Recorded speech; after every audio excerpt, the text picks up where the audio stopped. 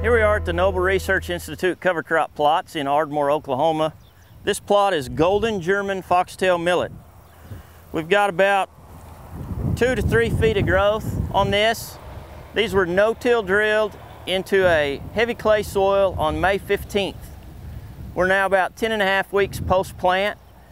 German millet, golden German millet, foxtail millet, all of those will be a short season cover crop. As I said, we're about 10 weeks post-plant. These are beginning to mature and dry down. This foxtail millet doesn't make a lot of biomass, but it does give you an option if you want a, a grass cover crop in something other than a sorghum or a sorghum Sudan. Golden German foxtail millet, Ardmore, Oklahoma.